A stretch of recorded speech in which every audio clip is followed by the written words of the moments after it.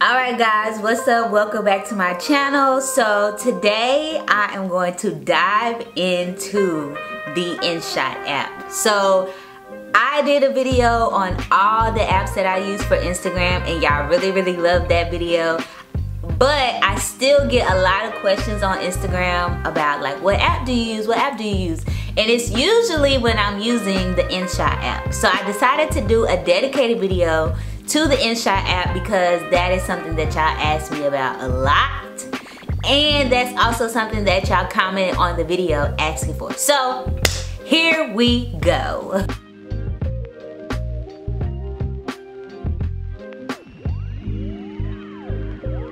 So um, let's dive into the InShot app. So the InShot, InShot app is an app that I use for my videos, um, that I put on my Insta story. So if you ever see me putting like a funny filter on Insta story or like when I do my dance videos around the house, if there's like little animations that pop up, that is from the InShot app. So the InShot apps, InShot app has a lot that goes on in inside of it. So what I'm gonna do is I'm gonna try to screen record the app and uh, so y'all can see what goes on in here. Okay, so in the InShot app, you can, it already presents you with three things that you can do. So you can do video, a photo, or a collage. Most of the time, I'm gravitating to the video, so I'm gonna dive into that first, and that's probably what's gonna take the longest to explain. So what I'm gonna do is open up a video that's already here. So one thing I do like, actually let me go back out. One thing I do like about this app is that it allows you to draft your videos. So as you can see, I have 58 drafts. Ignore that, they're not anything special. It's just stuff that I forgot to delete once I was finished with it. But what I like about the drafts is that you can organize your stories or IGTV or whatever you're editing um, you can draft it while you're still editing it until you're completely ready to publish it or whatever. And it also allows you to go back and make corrections if you're working with a brand or something like that. Um, before this was not an option you had to edit one video at a time so it was kind of frustrating so i'm glad they updated that pretty recently within the last month so i love that so let's just dive right on in so i'm going to open up this video that's already there so i'm going to take off all the filters so y'all can see what it looked like before. Okay, this is the video that I have of me showing off my jeans. I get a lot of questions about my jeans on Instagram, so I just decided to make a little clip about it. So, this is what we have. So, first is the trim. This is basically how you cut the video if you don't want it to be that long, if you want to cut a part out. Um, you can trim it by pulling the ends and making it shorter. You can cut it by just taking out a middle. Like if there's a middle of the video that you want to take out, but you want the beginning and the end, you could cut it that way. Or you could split it where you take the, you find the area that you want to split and split it in half, something like that. But we're not going to do either. Um, so that's the first thing. Canvas. Now this is pretty important. The canvas basically helps you set the dimensions of the video for the platform that you're going to use it on. So they already have preset dimensions for Instagram. They have the square, they have the portrait for Instagram, which is the 4x5. They have YouTube dimension. They have a Spotify, I believe. That's no, that's not Spotify. That's um I forgot that app, but that dimension. Then they have dimension for iPhone, the regular iPhone. They have the 10 iPhone. Um, so they have all the dimensions you're looking for. But because I always post on Insta Story, I always choose the 5x5 iPhone. And then I press the little square to make sure the video fits right in the middle. And so if you have multiple clips, you can just apply this to all the clips instead of going through and editing each clip. So by applying all of it, you hit the double check button here on the far left, not just the check button on the right. So you're gonna apply all. And so then we go to the filters. my favorite filter, they actually have a lot more filters than it shows in my app because I hit them all. I hit the ones that I don't use because if I don't use them, there's no reason for them to be there. So if you go to more, or actually no, let's go back. If you go to the little wheel, the gear button, um, it'll show you all the app, all the filters that they have. And as you can see, I have hid a lot of them. Okay, so my favorite filter is the Cinema 1. Sometimes I turn it down. You can turn down the strength of the filter. I turn it down because it'll make me orange sometimes and I don't want to look orange, but I do still like the filter. So I'm just going to do that. So that's the first step. Um, not the first step. So that's part one of the filter. The second is adding the effects. Now this is where you can add the glitchiness of the photo or grain or the TV effect. So they have different ones. They have ghost and as you can see it looks like this. They have TV, it looks like this. They have convex, it looks like this. They have noise, JPEG. They have a lot, but these are the ones that I like. So we're gonna add the glitch to this one because I like to use that one. So I'm just gonna apply all. And then what I'm gonna do is turn the volume off on the clip. So this is what we have so far. It has a filter, it has glitch, and it's pretty much ready to go for me. Um, I would just put music on it through Instagram, but I just wanna go ahead and go show you everything that you can do inside the app. So next you have music. You can add your own music. So I'll go ahead and do that. Actually, I'm going to do that at the end because I don't want the music to keep playing while I'm trying to talk through the tutorial. So let's come back to the music and let's check out the stickers. So the stickers are actually those effects that I have um, whenever I'm doing like my dance videos and you see those animations like jumping up and down. That is the um, sticker. So let's just put like an arrow since I'm talking about my jeans. And then we're going to make it smaller. And you're just going to put that one there. And let's turn it up. Yep, like that. And then with, with the sticker, okay, so we're going to make sure the sticker goes all the way to the end of the video. So click video end and then you're gonna also click edit because then we want it to like bounce. So you can add like effects to it. So yeah let's do that one. That's kind of cute. So I'm actually gonna copy this same sticker and just move it over here. And turn it up. Why it won't turn? Okay there we go. Okay so now we have two stickers and let's play it. See, now you have the arrows, cute, cute, yeah, all right. So now that you have stickers, you can add text. Um, I normally like to add the text on Instagram. Sometimes I change my mind. I'm like, should I add it on here? Should I add it on Instagram? It just depends on how I'm feeling. But you can add text on here. So I'm going to put, let's talk about jeans. And then we're going to center it. And you can change the background. Who's calling? Rude. You just messed up my screen recording. Hold on. I gotta start recording again. Okay, so you're gonna add the let's talk about jeans in the middle. You can change the text color. You can change the background to, let's change it to white. Boom. Let's move this up. And we can put this end of the clip.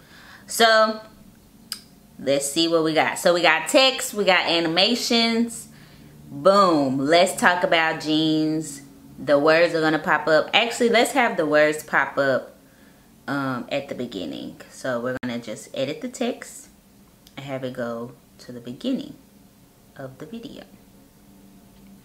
So now we got words and we got little animations. Okay, so you can change the speed. You can also add a background. The speed I'm not going to play around with in this video, but say you want to have a slow motion, you can just slow down the clips. Um, and then background, you can make the the actual clip smaller so you can see the background like that. and it'll look like this. So if that's what you're into, you can do that, but I'm not gonna do that for this particular video.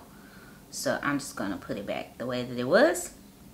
Okay, and so you can reverse it, rotate it, flip it. Those things are kind of obvious to what it's saying. So the last thing I'm gonna do is add music. So I'm just gonna pick whatever song I have on here.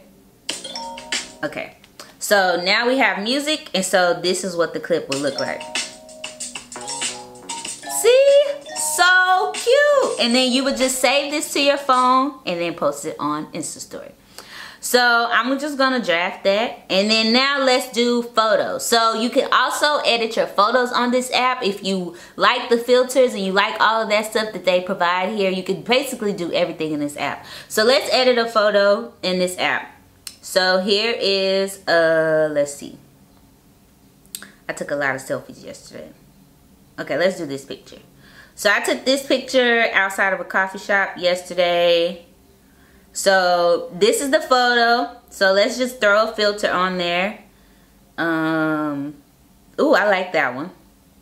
And so you can also add the effects to pictures too. It's not just a video thing. It just, um, with the videos, it moves. But with pictures, it's just like a still frame. So I'm actually going to add the JPEG filter on this picture. And this is the before, this is the after, before, after. Okay, and then I don't want to do that. That was not, that was accident. Um, and then you can add stickers to your pictures, but I'm not gonna add a sticker. You can add text and then you can crop it to fit whatever you're using it for. So if it's Insta story, Instagram post on your feed, square, wide, YouTube, Insta story, um, Facebook, whatever the case, you can use it for whatever you want. But I'm just going to keep it for Instagram. So that's my photo and I think it's pretty cute. So I'm just going to save that. And then last but not least, oh, that was another thing. You can't draft the pictures. You can only draft the videos. So just keep that in mind when you're editing a picture. You have to finish the the photo edit. Um, or you or you just have to wait until you're done to move on to another photo. But the videos you can draft on your on the InShot app. You just can't draft the photos. Just want to point that out. And then last but not least they have collage. So this is a collage. So I'm just gonna pick the photo I just edited um, and you could do all kinds of stuff Actually, I'm to edit another photo from that same like little area. Let's just do this. Oh, and let's say you want to edit multiple pictures. So let's pick another picture. That's not even a cute picture. Let's edit this picture. Okay, so I'm to put that same filter on there. Cute. And you can apply all. And then I'm gonna also put the same effect. JPEG. Apply all. So now we have two pictures. So we're just gonna save all the pictures. So you can edit multiple pictures at a time but you just can't draft them if that makes sense so you can edit multiple pictures at a time. I take that back. You just can't draft it and like open up another photo in another. You just have to edit them multiple pages at a time. So you can't edit multiple pictures at a time. I stand corrected. So I'm gonna take these two pictures and do a collage. So let's actually these three pictures. Let's do that. So they actually have different so you can do it like this you can do it like this you can do it like this you can do it this way and I can move this one I think I can move that one. Yeah. Let's see what else they got. They got this, this. So they have different like collages that you could do. So I'm just to do this one. And then I don't want that big of a border. Okay, and I want this one in the middle.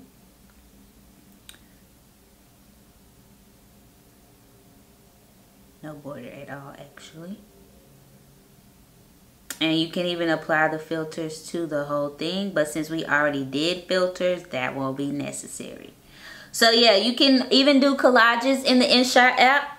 So that's pretty much the full rundown on the InShot app. I love the InShot app. It's probably my number one go-to Insta story Instagram app um, so if you're looking for an app that kind of does a little bit of everything, this is the app. I actually pay for the Pro, which is, let's see. I think the Pro is uh, like $15. I don't know. But it basically takes the watermark off and it gives you access to all the filters. Um, so I think it's a yearly fee. It's not like a monthly thing but I could go check. Let me see. But I hope you guys enjoyed this. This is like an app that I get asked about a lot. This is an app that I use a lot. So I feel like whenever I say I use the InShot app, people think like, oh, this app only has like one type of look. But you can turn your videos into so many different things. I actually edit all of my IGTV videos on this app. I don't edit my IGTV videos on my computer just because it's a lot easier um, and I'm more inclined to actually complete the video when I do it on my phone versus when I like have to send all the clips to my computer or send them all to my phone or whatever. So I actually have filmed most of my videos that's on IGTV on my phone and edited them on my phone.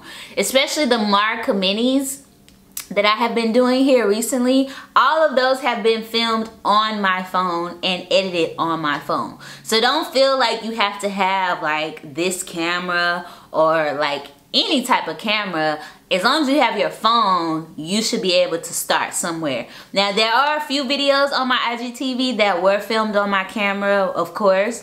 Um, and I actually do want to start filming on my camera more for IGTV. But it's just been a lot easier for me because right now, I am practicing consistency. So if I overthink, if I overthink any step, it's not gonna get done. So I'm just trying to force myself right now to just meet my deadlines and like meet my commitments that I made to myself. And so if filming the video on my phone is what I have to do to, to do that, then I'll do that. And so I'm in, I'm just in a season of just trying to practice being consistent. And so that's just what's helping me stay consistent. But of course, filming on my camera would make the videos pop and editing them on my computer would probably make it even more fancier. But this app gets the job done for me. And so if you're a beginner or if you're trying to create content and you don't have all the necessary equipment that you think you need, which you don't, um, you can just start on your phone and start with that app and that's a go. You don't have to have Final Cut Pro.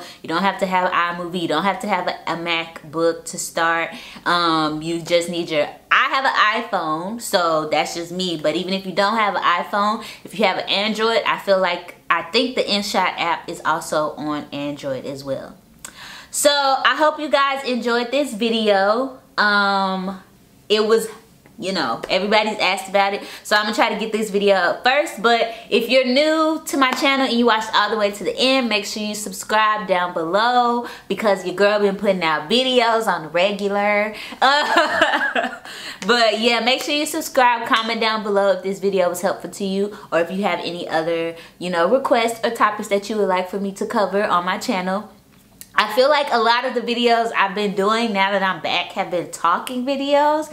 And I didn't want to do this much talking, but it seems like y'all like to hear me talk. So, um, but I'm gonna try to, but I also have another fun video that I'm I'm recording today that's more about my house like the decor so stay tuned for that um, but thank you guys so much for watching and I'll see you guys next time